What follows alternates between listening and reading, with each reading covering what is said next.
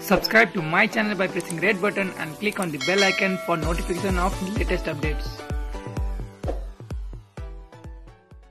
जनता समाजवादी party Jaspa भित्रको विवाद समाधान गर्न निर्वाचन आयोगको इजलासमा सुनवाई सुरु भएको छ। बिहिबार पाँच आयुक्तको इजलासमा सुनवाई सुरु भएको छ। निर्वाचन आयोगको कार्यालयमा प्रमुख निर्वाचन आयुक्त दिनेश थपलिया लगायतका आयुक्तहरू रहेको इजलासमा सुनवाई सुरु भएको हो। आजै बहस सकिएर केही आदेश हुन सक्ने आयोगका सचिव सुरेश अधिकारीले जानकारी दिएका छन्। सुनवाई सुरु भएको छ। सम्भवतः दुवैतिरको बहस आजै सकिन्छ होला। दुवै पक्षको समय डेढ डेढ घन्टा दिएको छ। त्यसो गर्दा करिब साढे तिन घन्टा बहस हुन्छ।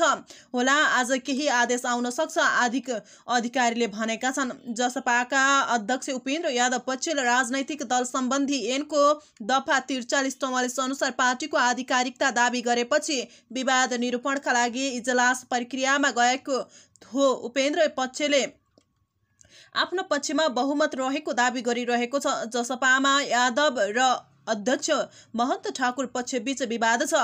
जसपा विवादको निरूपणका लागि इजलास गठन गरी साउन तिन गतेदेखि बहस चलाइएको चलाइरहेको छ। पहिलो चरणको बहस सकिएपछि आयोगले दुवै पक्षमा दुवै पक्षलाई आफ्नो सक्कल प्रमाण पेश गर्न आदेश दिएको थियो। दुवै पक्षले आफ्नो प्रमाण पेश गरेपछि आज त्यसमा बहस हुने। जसपाका अध्यक्ष महन्त ठाकुर पक्षका वरिष्ठ अधिवक्ता सुरेन्द्र महतले जानकारी दिएका हुन्। प्रमाणमा चित्त नबुझे कसको पक्षमा बहुमत छ भन्ने निर्क्योलका लागि कार्यकारिणी सदस्यहरूलाई आयोगमा उपस्थित गराएर शनाखत गराउन सकिने सम्भावना पनि रहेको जसपा उपेन्द्र यादव पक्षका वरिष्ठ अधिवक्ता वीरेन्द्र ठाकुरले बताएका छन्। आयोगमा कार्यकारिणी सदस्यको हिसाब किताब भइरहेको छ। प्रमाणहरूको आधारमा चित्त नबुझ्ने आयोगले कार्यकारिणी सदस्यहरूलाई पनि बोलाउन सक्छ। उनले भने यादव पक्षले पार्टी दर्ता भएको बेला आयोगमा प्रस्तुत गरेको कार्यकारिणी सदस्यको आधारमा बहुमतको दावी गरेको छ। भने महन्त ठाकुरले पुस सात गते भएको कार्यकारिणी समितिको बैठकले आफूलाई अधिकार दिएको दावी गर्दै त्यसको आधारमा हेरफेर गरिएको कार्यकारिणी समितिलाई बहुमतको आधार मानेको छ।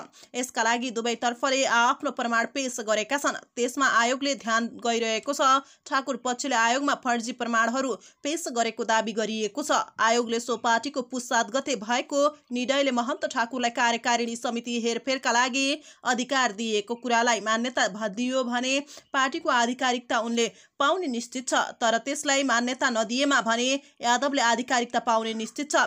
आयोगमा बहस यसैमा केन्द्रित छ। जसपाका अध्यक्ष यादवले पुस सात गते त्यस्तो कुनै निर्णय नभएको दावी गरेका छन्। उनले त्यो बैठकपछि दुवैजना अध्यक्षको हस्ताक्षरबाट जारी गरिएको विज्ञप्तिमा सो कुरा कतै उल्लेख नरहेको र पार्टीका नेता तथा कार्यकर्तालाई गरिएको आन्तरिक सर्कुलरका सर्कुलरमा पनि त्यो कतै उल्लेख नभएको दावी गरेका छन्। तर अर्का अध्यक्ष महन्त ठाकुरले आफूलाई कार्यकारिणी समिति हेरफेर गर्ने अधिकार दिएको कुरा माइन्युटमै उल्लेख भएको र त्यो प्रमाण निर्वाचन आयोगमा पनि पेश गरिएको बताएका छन्। कसले फर्जी गरेका छन् कसले गरेका छैनन् त्यसको निर्णय निर्वाचन आयोगले गर्ने उनले बताएका छन्।